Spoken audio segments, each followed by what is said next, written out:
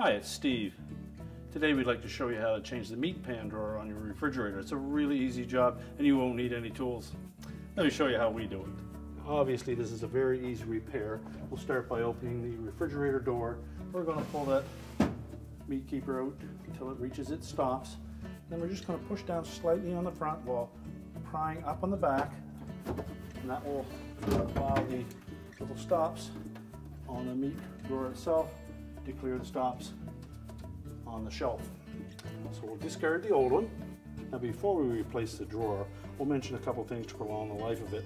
First of all, when washing it, we want to make sure that we allow it to come to room temperature before we wash it in mild soap and uh, lukewarm water.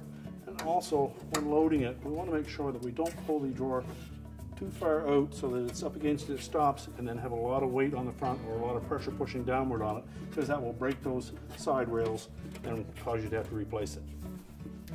So to insert it, we want to make sure that we line those lips on the side of the drawer with the rails of the shelf. Push it back to the stops. Push it all the way in. And our repair is complete.